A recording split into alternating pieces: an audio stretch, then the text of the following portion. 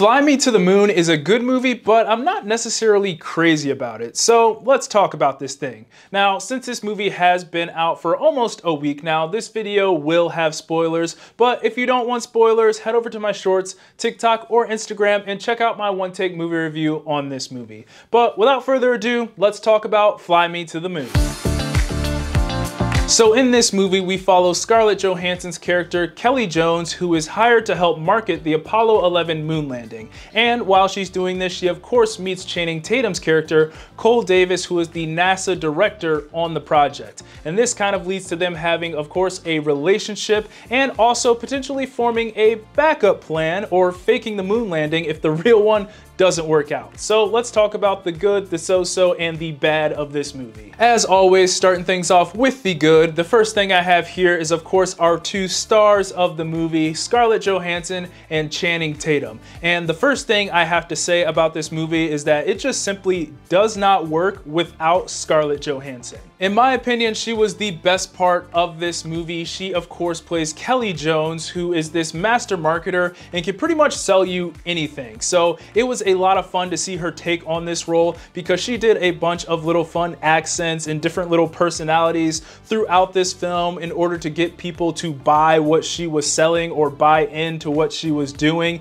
And I just think, in my opinion, it looked like she was having a lot of fun in this movie because she was a lot of fun to watch in this movie. She was charismatic, charming, and even though I wasn't the biggest fan of some of the things that they did with her character, her herself was just phenomenal. And every time Scarlett Johansson was on screen, which was of course a lot in this movie, I was having a good time. Then when you combine that with Channing Tatum, it's pretty hard to mess that up. They had great chemistry on screen together and Channing Tatum turned in a solid performance as well. And when these two were on screen together in this film, that's when I thought this thing was truly at its best and when it shined the most, in my opinion. Next up for the good, I have the humor. Now, the humor in this isn't your laugh out loud humor. You're not gonna be just dying laughing all the way through this movie, but the humor is very well timed in this thing. It didn't feel forced, it didn't feel like they relied on it. In my opinion, they had the perfect amount of humor for this movie. Now, obviously, a lot of the humor came from Scarlett Johansson and Channing Tatum going back and forth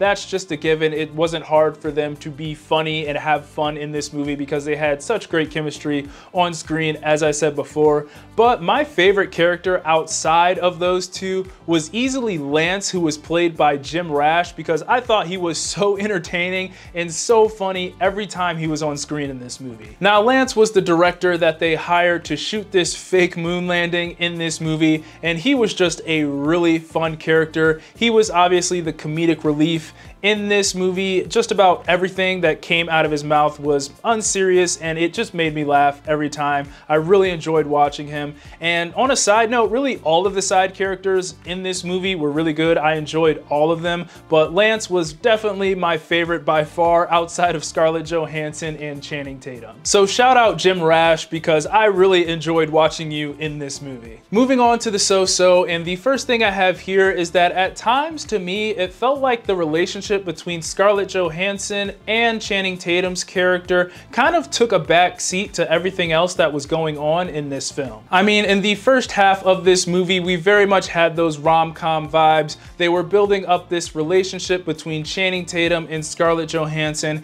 and we were having a lot of fun. But once we got to the part where they revealed that they were going to film and potentially fake the moon landing, that's where I feel like the relationship took a back seat to that plot. And once they got into that plot, it kind of felt like the relationship got a little bit stagnant in that part of the movie and didn't grow as much as I think it could have. And at the end of the day, it's not really a big deal. I just think that since this relationship was really one of the best parts of the movie. I feel like it should have remained a priority throughout the entire movie and not just in the first half, in my opinion. Now, obviously, they did come back to this relationship at the end of the movie, but there was a big chunk of this thing where, in my opinion, it just felt like the relationship wasn't growing like it was in the first half of the film. Next up for the so-so, I have what they did with the backstory of Scarlett Johansson's character. Now, a big part of her character in this film was this big secret backstory that no one else knew about. And throughout this movie, they mentioned it here and there, but it also built up some tension in her relationship because you were just anticipating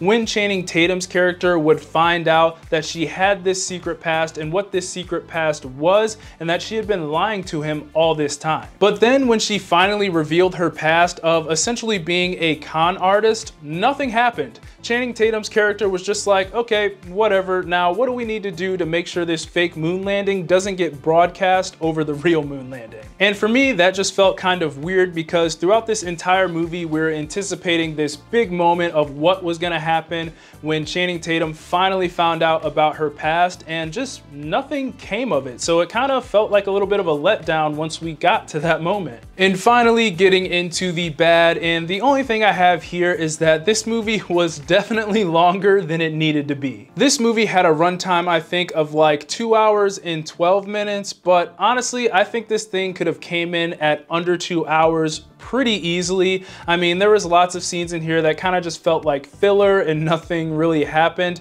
And then we got to the end of this movie and it just kind of felt like it kept going on and on and on and kind of took a while to finally end. There were multiple times at the end of this movie where I thought it was going to end and it just didn't. And there was also a couple of times during the film where you could definitely feel the runtime being stretched a little bit. So yes, I thought it was a good story and a good premise, and I definitely enjoyed this movie, but it 100% could have came in under two hours in my opinion. But overall, I still think Fly Me to the Moon is a solid movie. It's very much carried by its two main stars, but it also has some good side characters and a fun story, which makes it a movie that I would recommend. Those are my thoughts on Fly Me to the Moon. Be sure to let me know what you thought of the movie down in the comments, and as always, be sure to like, subscribe, comment, get your Eazy Apparel at shopeazyapparel.com. God bless, and I'll see you guys later. Peace.